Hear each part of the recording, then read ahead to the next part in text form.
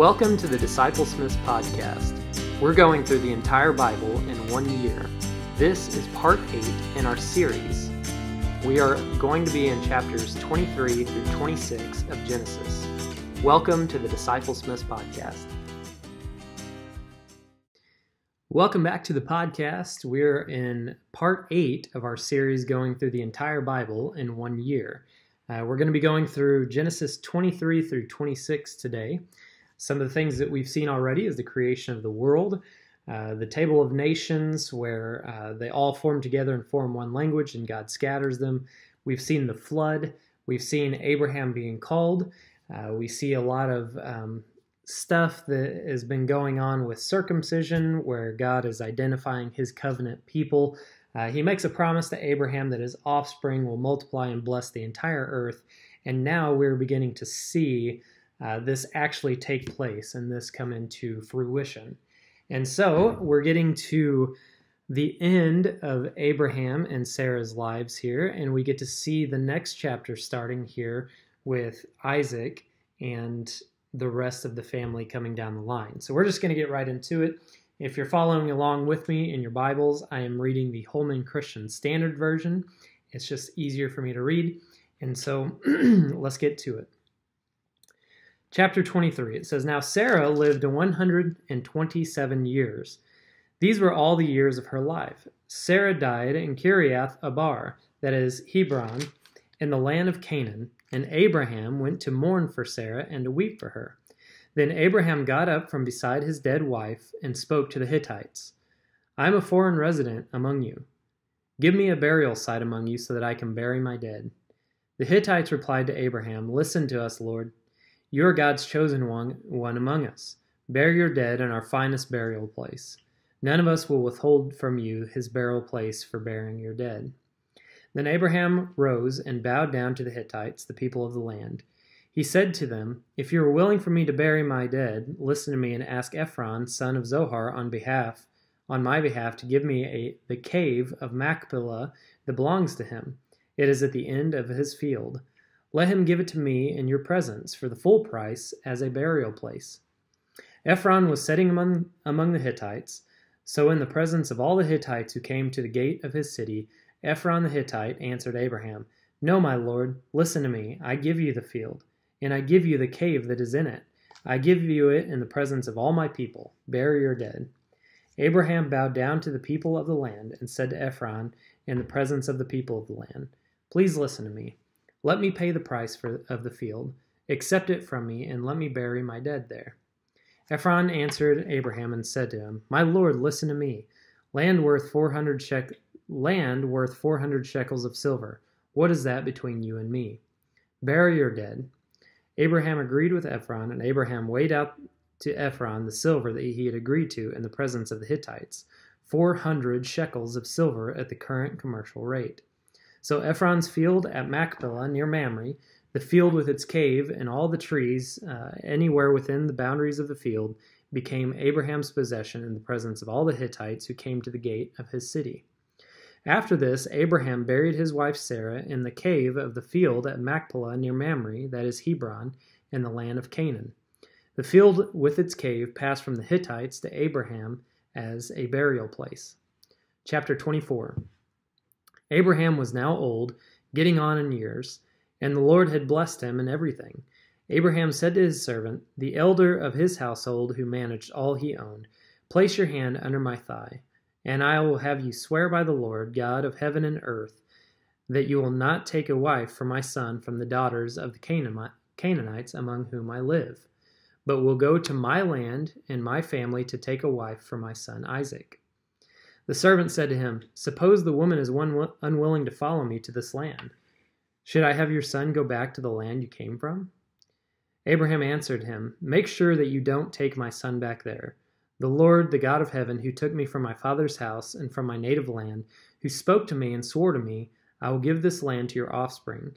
He will send his angel before you, and you can take a wife for my son from there. If the woman is unwilling to follow you, then you are free from this oath to me. But don't let my son go back there. So the servant placed his hand under his master Abraham's thigh and swore an oath to him concerning this matter. The servant took ten of his master's camels and departed with all kinds of his master's goods in hand. Then he set out for Nahor's town, Aram Naharaim. Uh, he made the camels kneel beside the well of water outside the town at evening. This was the time when the woman went out to draw water. Lord, God of my master Abraham, he prayed, give me success today, and show kindness to my master Abraham. I am standing here at the spring where the daughters of men of the town are coming out to draw water. Let the girl to whom I say, Please lower your water jug so that I may drink, and who responds, Drink, and I will water your camels also. Let her be the one you have appointed to your servant Isaac. By this I will know that you have shown kindness to my master.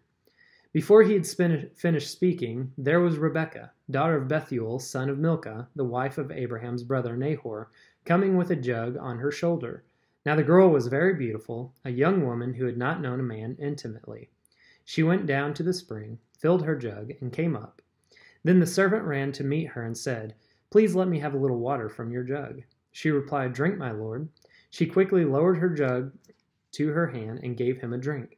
And when she had finished giving him a drink, she said, I'll also draw water for your camels, and they have had until they have had enough to drink. She quickly emptied her jug into the trough and hurried to the well again to draw water. She drew water for all his camels while the man silently, silently watched her to see whether or not the Lord had made his journey a success. After the camels had finished drinking, the man took a gold ring weighing half a shekel, and for her wrists two bracelets weighing ten shekels of gold. Whose daughter are you? he asked. Please tell me, is there room in your father's house for us to spend the night? She answered him, I am the daughter of Bethuel, son of Milcah, whom she bore to Nahor. She also said to him, We have plenty of straw and feed, and a place to spend the night. Then the man bowed down, worshipped the Lord, and said, Praise the Lord, the God of my master Abraham, who has not withheld his kindness and faithfulness from my master. As for me, the Lord has led me on the journey to the house of my master's relatives. The girl ran and told her mother's household about these things. Now Rebekah had a brother named Laban, and Laban ran out to the man at the spring. As soon as he had seen the ring and bracelets on his sister's wrists, and when he heard his sister Rebekah's words, the man said this, the man said this to me, he went to the man. He was standing there by the camels at the spring. Laban said, Come, you who are blessed by the Lord. Why are you standing out here? I have prepared the house and a place for the camels. So the man came to the house, and the camels were unloaded. Straw and feed were given to the camels, and water was brought to wash his feet and the feet of the men with him. A meal was set before him, but he said, I will not eat until I have said what I have to say. So Laban said, Please speak. I am Abraham's servant, he said. The Lord has greatly blessed my master, and he has become rich. He has given him sheep and cattle, silver and gold, male and female slaves, and camels and donkeys. Sarah, my master's wife, bore a son to my master in her old age, and he has given him everything he owns. My master put me under this oath you will not take a wife for my son from the daughters of the Canaanites in whom whose land I live, but will go to my father's household, and to take my family to take a wife for my son. But I said to my master, Suppose the woman will not come back with me. He said, The Lord before whom I have walked will send his angel with you and make your journey a success. And you will take a wife for my son, from my family, and from my father's household. Then you will be free from my oath if you go to my family and they do not give her to you. You will be free from my oath. Today, when I came to the spring, I prayed, Lord, God of my master Abraham, if only you will make my journey successful. I am standing here at a spring. Let the virgin who comes out to draw water, and I say to her, Please let me drink a little water from your jug, and who responds to me, Drink, and I'll water your camels also. Uh, let her be the woman the Lord has appointed for my master's son. Before I had finished praying silently, there was Rebekah coming with her jug on her shoulder, and she went down to the spring and drew water. So I said to her, Please let me have a drink. She quickly lowered her jug from her shoulder and said, Drink, and I'll water your camels also. So I drank, and she watered the camels also. Then I asked her, Whose daughter are you? She responded, The daughter of Bethuel, son of Nahor, whom Milcah bore to him. So I put the ring on her nose and the bracelets on her wrist. Then I bowed down, worshiped the Lord, and praised the Lord, the God of my master Abraham, who guided me on the right way to take the granddaughter of my master's brother for his son. Now, if you're going to show kindness and faithfulness to my master, tell me. If not, tell me, and I will go elsewhere. Laban and Bethuel said, This is from the Lord. We have no choice in the matter. Rebekah is here in front of you. Take her and go, and let her be a wife for your master's son, just as the Lord has spoken. When Abraham's servant heard their words, he bowed to the ground before the Lord. Then he brought out objects of silver and gold and garments and gave them to Rebekah. He also gave precious gifts to her brother and her mother. Then he and the men with him ate and drank and spent the night. When they got up in the morning, he said, Send me to my master. But her brother and mother said, Let the girl stay with us for about ten days, then she can go. But he responded to them, Do not delay me, since the Lord has made my journey a success. Send me away so that I may go to my master. So they said, Let's call the girl and ask her opinion. They called Rebekah and said to her, Will you go with this man? She replied, I will go. So they went away. They sent away their sister Rebekah with the one who had nursed, who had nursed and raised her, and Abraham's servant and his men. They blessed Rebekah, saying to her, Our sister, may you become thousands upon ten thousands. May your offspring possess the gates of their enemies. Then Rebekah and her female servants got up, mounted the camels, and followed the man. So the servant took Rebekah and left. Now Isaac was returning from Beer Lahai for he was living in the Negev region. In the early evening, Isaac went out to walk in the field, and looking up, he saw camels coming. Rebekah looked up, and when she saw Isaac, she got down from her camel, and asked the servant, Who is that man in the field coming to meet us? The servant answered, It is my master. So she took her veil and covered herself. Then the servant told Isaac everything he had done. And Isaac brought her into the tent of his mother Sarah and took Rebekah to be his wife. Isaac loved her, and he was comforted after his mother's death. Chapter 25 Now Abraham was, had taken another wife, whose name was Keturah, and she bore him Zimran, Jokshan, Medan, Midian, Ishbak, and Shuah.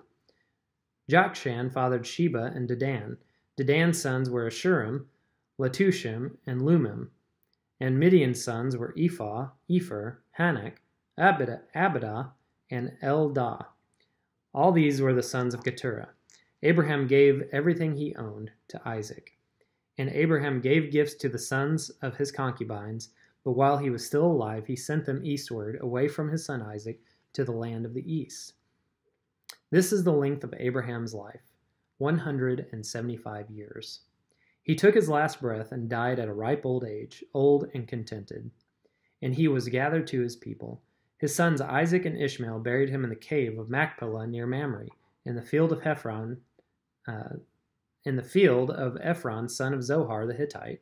This was the field that Abraham bought from the Hittites. Abraham was buried there with his wife Sarah. After Abraham's death, God blessed his son Isaac, who lived near Beer Lahai Roi. Ishmael's family records. These are the family records of Abraham's son Ishmael, whom Hagar the Egyptian, Sarah's slave, bore to Abraham. These are the names of Ishmael's sons. Their names, according to their family records, are, no, are Nebaioth, Ishmael's firstborn, then Kedar, Abiel, Mibsam, Mishma, Duma, Massa, Hadad, Tema, Jetur, Nephish, and uh, Kedemah. These are Ishmael's sons, and these are their names by their villages and encampments, twelve leaders of their clans. This is the length of Ishmael's life, one hundred and thirty seven years. He took his last breath and died, and was gathered to his people. And they settled from Havilah to Shur, which is opposite Egypt as you go eastward to Ashur. He lived in opposition to all of his brothers. These are the family records of Isaac, son of Abraham. Isaac Abraham fathered Isaac. Isaac was 40 years old when he took as his wife Rebekah, daughter of Bethuel the Aramean from Paddan Aram, and the sister of Laban the Aramean. Aramean. Isaac prayed to the Lord on behalf of his wife because she was childless. The Lord heard his prayer, and his wife Rebekah conceived. But the children inside her struggled with each other, and she said, Why is this happening, happening to me? So she went to inquire of the Lord, and the Lord said to her, Two nations are in your womb. Two people will come from you and be separated. One people will be stronger than the other, and the other will serve, the older will serve the younger. When her time came to give birth, there were indeed twins in her womb. The first one came out red looking, covered with hair like a fur coat, and they named him Esau. After this, his brother came out, grasping Esau's heel with his hand. So he was named Jacob. Isaac was 60 years old when they were born. When the boys grew up, Esau became an expert hunter, an outdoorsman. But Jacob was a quiet man who stayed at home. Isaac loved Esau because he had a taste for wild game, but Rebekah loved Jacob. Once, when Jacob was cooking a stew, Esau came in from the field, exhausted. He said to Jacob, Let me eat some of that red stuff because I am exhausted. That is why he also is named Edom. Jacob replied, First sell me your birthright. Look, said Esau, I'm about to die, so what good is a birthright to me? Jacob said, Swear to me first. So he swore to Jacob and sold his birthright to him. Then Jacob gave bread and lentil stew so e- to Esau. He ate, drank, got up, and went away. So Esau despised his birthright. One more chapter, chapter 26. There was another famine in the land, in addition to the one that had occurred in Abraham's lifetime. And Isaac went to Abimelech, king of the Philistines, at Gerar. The Lord appeared to him and said, Do not go down to Egypt. Live in the land that I tell you about. Stay in this land as a foreigner, and I will be with you and bless you. For I will give all these lands to you and your offspring, and I will confirm the oath that I swore to your father Abraham. I will make your offspring as numerous as the stars of the sky. I will give your offspring all these lands, and all the nations of the earth will be blessed by your offspring because Abraham listened to my voice and kept my mandate, my commands, my statutes, and my instructions. So Isaac settled in Gerar. When the men of the place asked about his wife, he said, She is my sister. For he was afraid to say my wife, thinking, The men of the place will kill me on account of Rebekah, for she is a beautiful woman. When Isaac had been there for some time, Abimelech, king of the Philistines, looked down from the window and was surprised to see Isaac caressing his wife Rebekah. Abimelech sent for Isaac and said, So she is really your wife. How could you say, She is my sister? Isaac answered him, Because I thought I might die on account of her. Then Abimelech said, What is this you've done to us? One of the people could easily have slept with your wife, and you would have brought guilt on us. So Abimelech warned all the people with these words Whoever harms this man or his wife will certainly die. Isaac sowed seed in that land, and in that year he reaped a hundred times what was sown. The Lord blessed him, and the man became rich and kept getting richer until he was very wealthy. He had flocks of sheep, uh, herds of cattle, and many slaves, and the Philistines were envious of him. The Philistines stopped up all the wells that his father's slaves had dug in the days of his father Abraham, filling them with dirt. And Abimelech said to Isaac, Leave us, for you are much too powerful for us. So Isaac left there, camped in the valley of Gerar, and lived there. Isaac reopened the water wells that had been dug in the days of his father Abraham, and that the Philistines had stopped up after Abraham died. He gave them the same names his father had given them. Then Isaac's slaves dug in the valley and found a well of spring water there. But the herdsmen of Gerar quarreled with Isaac's herdsmen and said, The water is ours. So he named the well Quarrel, because they quarreled with them. Then they dug another well and quarreled over that one also, so he named it Hostility. He moved from there and dug another, and they did not quarrel over it. He named it Open Spaces and said, For now the Lord has made room for us, and we will be fruitful in the land. From there he went to Beersheba, and the Lord appeared to him that night and said, I am the God of your father Abraham.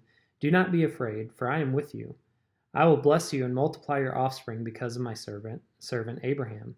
So he built an altar there, called on the name of Yahweh, and pitched his tent there. Isaac's slaves also dug a well there. Now Abimelech came to him from Gerar with Ahuzzath, his adviser, and Phicol, the commander of his army. Isaac said to them, Why have you come to me? You hated me and sent me away from you. They replied, We have clearly seen how the Lord has been with you. We think there should be an oath between two parties, between us and you. Let us make a covenant with you. You will not harm us, just as we have not harmed you, but have only done what was good to you, sending you away in peace. You are now blessed by the Lord. So he prepared a banquet for them, and they ate and drank. They got up early in the morning and swore an oath to each other. Then Isaac sent them on their way, and they left him in peace. On that same day, Isaac's slaves came to him, came to tell him about the well they had dug, saying to him, "We have found water." It is he called it Sheba. Therefore, the name of the city is Beersheba to this day. When Esau was forty years old, he took as his wife Judith, daughter of Beeri the Hittite, and Basemath, daughter of Elon the Hittite. They made life bitter for Isaac and Rebekah. Lord, may you bless the reading of this word. May it shape and transform our minds to better be guided by your will. It's in the name of Jesus we pray. Amen. Wow, so that was a lot of scripture as well. So I'm just going to take about 37 seconds to review some of this. First of all, Abraham's wife Sarah dies. Uh, his son Isaac finds a wife named Rebecca after having his servant there and getting camels and drawing water. Uh, Rebecca is very beautiful, just like his uh, Abraham's wife Sarah was very beautiful. So they pull the same stunt. It seems like a father-son antic here, where Isaac lies about. Well, I guess he doesn't necessarily lie. He does lie because it's not his sister.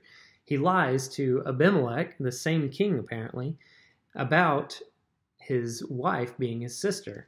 And then the king sees him caressing his wife. Uh, I don't know why he was like spying on Isaac and Rebecca, but he was. And so he sees this and uh, makes a deal with Isaac as well. Isaac uh, begins to grow uh, big time. He, he sows seed and it reaps a hundredfold. So they kick him out. And here we get back to where Esau is starving. Esau sells his entire birthright to Jacob for one meal. Crazy, right?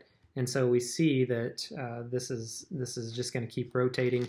Uh, there's some wells that they are arguing over where they're sharing, trying to share land, and there's just too much there.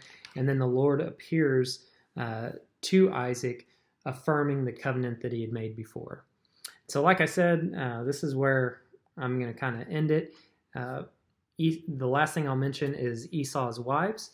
Esau, who should have been of the pure bloodline from Seth takes on this corrupted Hittite wives. He actually takes two wives in, into into his household, and they they're odds with Isaac and Rebecca. And so, uh, thank you for tuning in. Uh, this is the Disciple Smiths podcast.